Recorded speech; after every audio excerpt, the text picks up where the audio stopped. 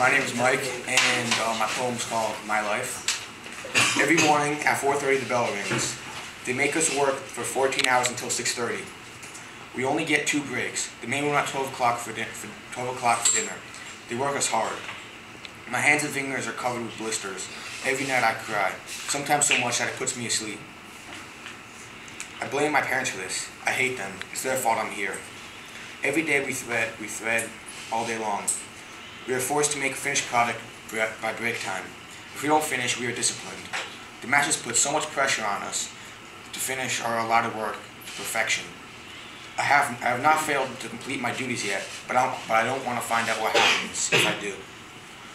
Do my parents really think working me down to the bone every day, three dollars a week, is worth helping me helping send my brother to Yale?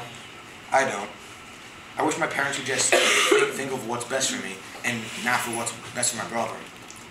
The night is dark. Everywhere I look, everywhere I turn, there is no light to be seen. I'm stuck here. I'm trapped.